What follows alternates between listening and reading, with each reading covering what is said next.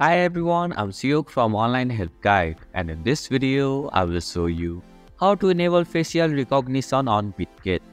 Activating facial recognition adds an extra layer of security making it easier and safer to access your account. So, let's get started on how to enable facial recognition on Bitget. First, open the Bitget app on your device Tap on the menu icon from the top left corner of your screen. At the top, tap on your username and go to the user center. Now, go to the security section. Here, scroll down and find the facial recognition option.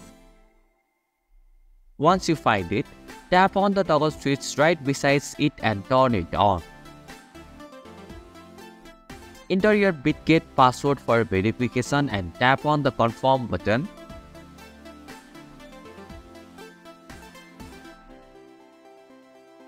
When the switch turns blue, it means facial recognition is enabled. And this is how you can enable facial recognition on Bitget. Thank you for watching online help guide. Hope this video was helpful. If it was, then hit the like button and comment down if you have any questions or feedback.